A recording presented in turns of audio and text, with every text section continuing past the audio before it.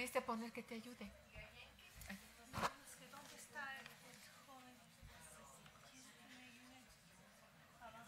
Quiero anunciar que de 4 a 8 de la noche de hoy se inicia el curso del el doctor Faruk Yulgen sobre estabilidad financiera como un bien público, una alternativa de análisis institucionalista de la regulación financiera. Esto es en el aula 207 del posgrado de la Facultad de Economía.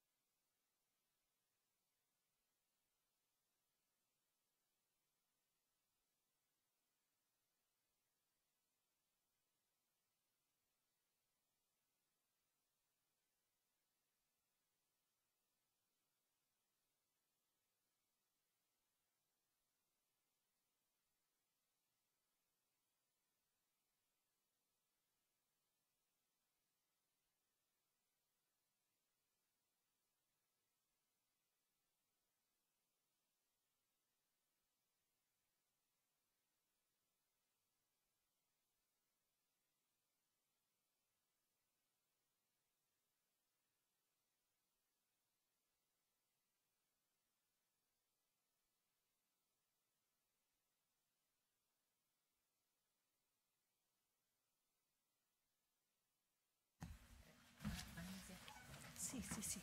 Vale.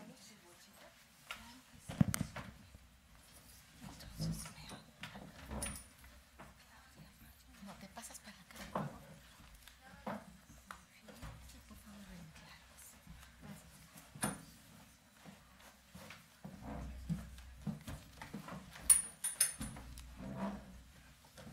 Muy bien. Damos inicio a la tercera mesa con la doctora Margarita Camarena, quien es doctora. A ver, perdón, es que están al revés aquí. Ella tiene, realiza estudios de licenciatura, realizó estudios de licenciatura y maestría en economía y de doctorado en ciencia política en la Universidad Nacional Autónoma de México. Es investigadora con curso de definitividad y titularidad A en la en el Instituto de Investigaciones Sociales de la propia Universidad Nacional Autónoma de México.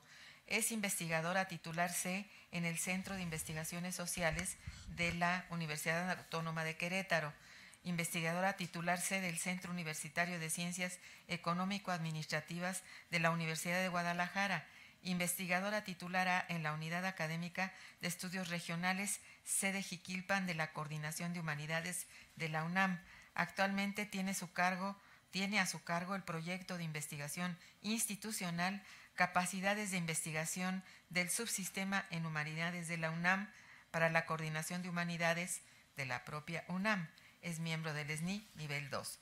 Le voy a pedir a la doctora Margarita Camarena que inicie su ponencia intitulada Industria de Pagos, Cadenas de Transacciones sin Dinero.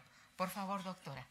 Muchas gracias. Buenas tardes a todos. Es para mí un privilegio especial estar esta tarde aquí en el 15 SEMECOFIN y presentarles eh, la ponencia sobre industria de pagos, cadenas de transacciones sin dinero.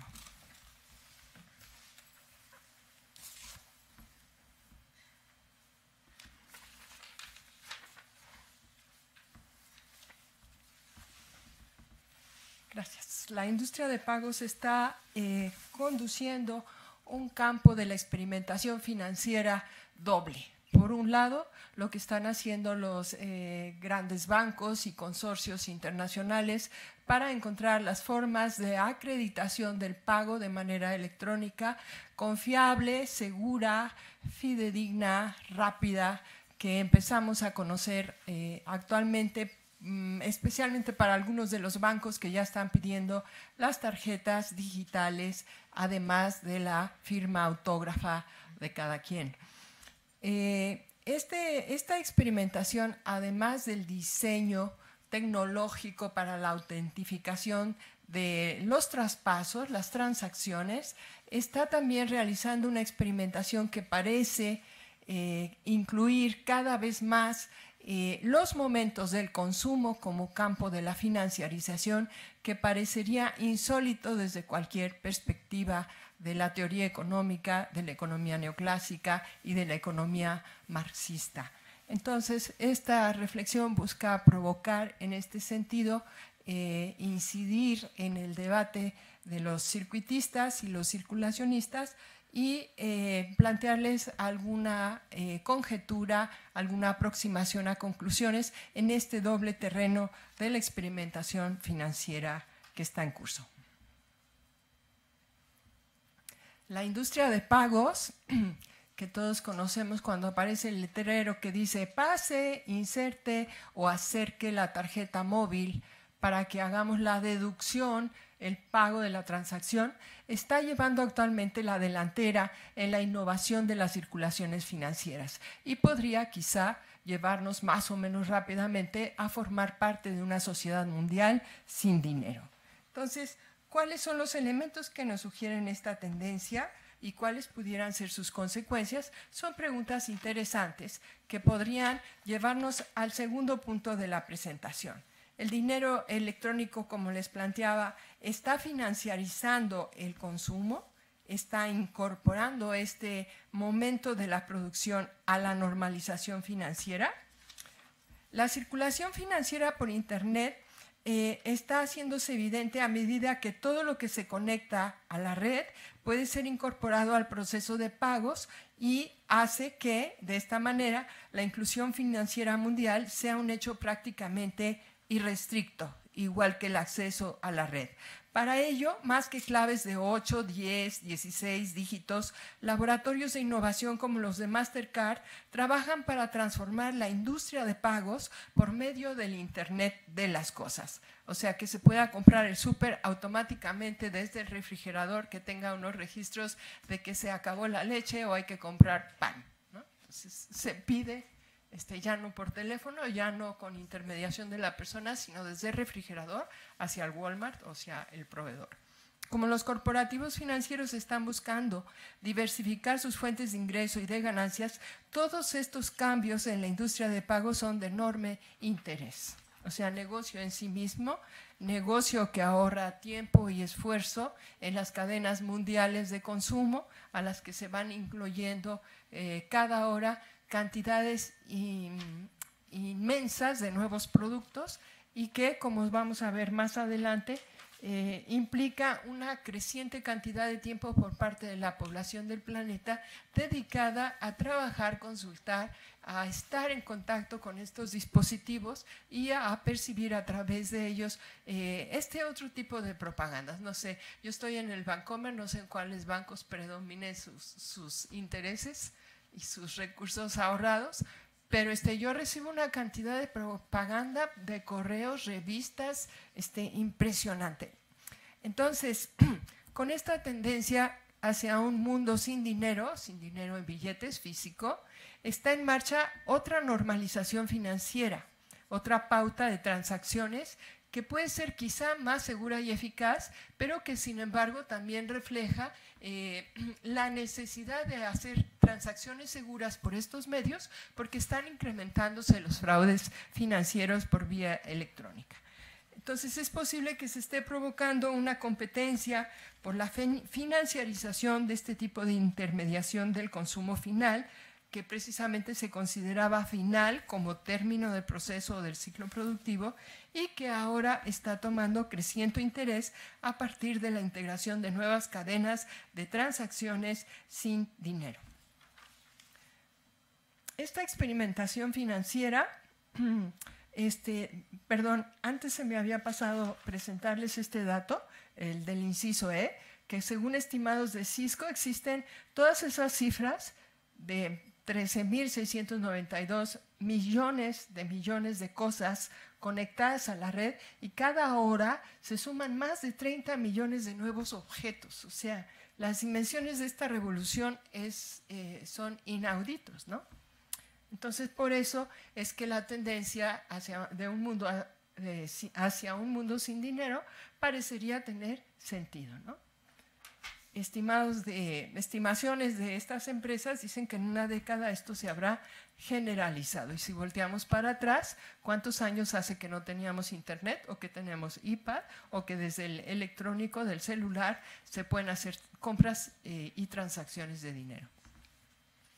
Entonces, esta experimentación en el terreno mm, eh, financiero, no del diseño de la autentificación de las transacciones, sino de, la experimentación con la sociedad, eh, está haciendo uso de carteras electrónicas, de comercio electrónico, de comercio móvil, de programas de lealtad y de descuento ofrecidos selectivamente a los consumidores. Con esta experimentación se están desarrollando sofisticadas herramientas de análisis basadas en los dispositivos móviles que ofrecen esta información al hacer cualquier transacción. O sea, imagínense los miles de millones de transacciones y de datos que empiezan a ser posible de contabilizarse y manejarse de manera instantánea. Ello abre una nueva ciencia para determinar pautas y capacidades de consumo de los clientes con gran precisión.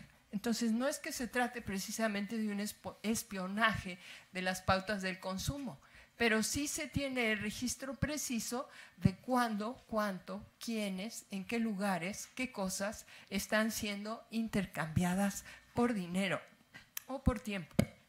Ello este, hace posible encontrar una clave interesante para la realización de valores financieros excedentes a partir de esta eh, experimentación financiera, a partir del consumo, a partir de acelerar las transacciones del consumo final. La experimentación hacia sociedades mundiales sin dinero eh, parecería todavía hasta hace muy poco tiempo algo ilusorio como un sueño, pero actualmente la manipulación de los consumidores que esta información sugiere es impresionante. Por eso, eh, las complejas tecnologías de apoyo a la autentificación de pagos, al control y seguimiento de las ventas, están siéndose desarrolladas cada vez más intensamente. ¿no? Se trata de un planteamiento integrado del consumo y de la producción para lo que es inevitable conseguir información en tiempo real.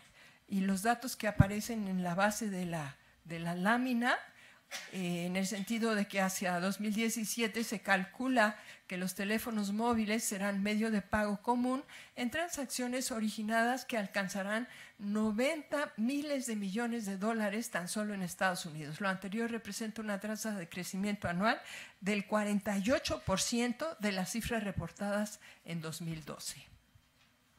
En México, se supone que en los próximos 10 años esta ya será también una tendencia masiva. Eh, el número de cuentas de banca móvil, que permite suponer lo anterior, es este, que las cuentas de banca móvil crecieron más de 250% en un año al pasar de 247 mil en 2011 a 883 mil en 2012, según datos de Pablo Castillón, basados en información del Consejo Nacional de Inclusión Financiera y su reporte número 5. Entonces, eh, estos 3 millones más de nuevos usuarios de banca por Internet significan 20 millones menos de transacciones realizadas con cheques y 267 millones más de pagos con tarjeta, lo cual sigue insisto, resultando de gran interés no solo para los sistemas bancarios y financieros, sino para otras este, instancias como el crimen organizado que han eh, demostrado cómo las tarjetas de crédito son el medio de pago más vulnerable.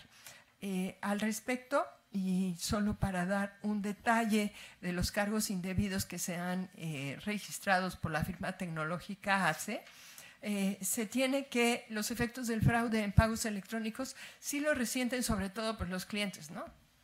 que nos cobran de más o que nos extorsionan. Pero también los comerciantes pues cubren costos hasta 10 veces más que las instituciones bancarias y 20 veces más que los consumidores. Entonces, todo este eh, análisis de Castillón, a partir de los datos de esta firma tecnológica, están reflejando cómo se normalizan esos cargos excedentes de la operación financiera. Y bueno, tienen que trasladarse hacia alguien que es el consumidor final y de alguna manera que es cada vez más eh, el recurso electrónico. Quiero este, finalmente sugerir que de acuerdo con datos de Brújula Digital de Banamex, eh, eh, de esta encuesta, los clientes de la banca pasan un promedio de 8.2 horas al día conectados de alguna forma a Internet y que el teléfono móvil se ha convertido para este grupo en el principal medio de conexión, pasando del 15 al 38%, lo cual es una tendencia aceleradísima. ¿no? Para resumir la presentación que traigo aquí a este 15 CMECOFIN, simplemente quiero decir que estos cambios en la financiarización orientada al consumo a partir de la integración de nuevas cadenas de transacciones sin, dinero están haciendo que eh, el control logístico de estas cadenas completas de circulaciones financieras por Internet haga una profundización de la financiarización